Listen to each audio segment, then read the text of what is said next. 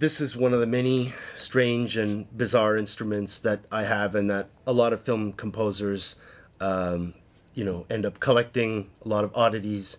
because uh, one of the great things about doing music for film is, um, you know, you never know what kind of instruments you're going to need or what kind of sounds you're going to need,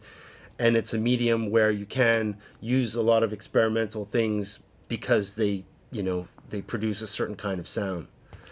Uh, this in particular is basically a giant handmade uh, kalimba or thumb piano from Africa.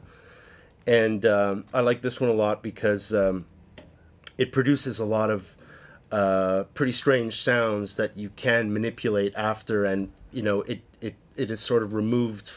from sonically removed from the fact that it's an African instrument. This sounds very much like a lot of the kalimbas, but when you're if you record some of these isolated sounds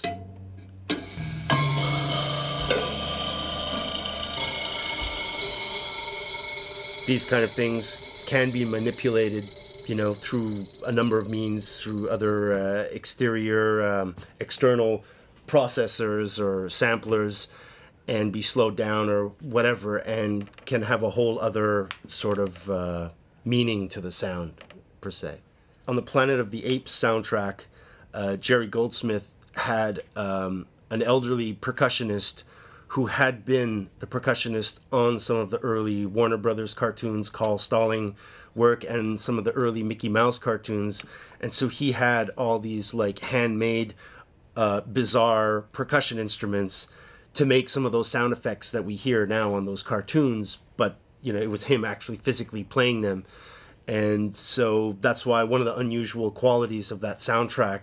is like all those really strange sounds. And he was saying in an interview that he would never have gotten some of those sounds if it wasn't for that one guy and his collection of, of bizarre percussion instruments.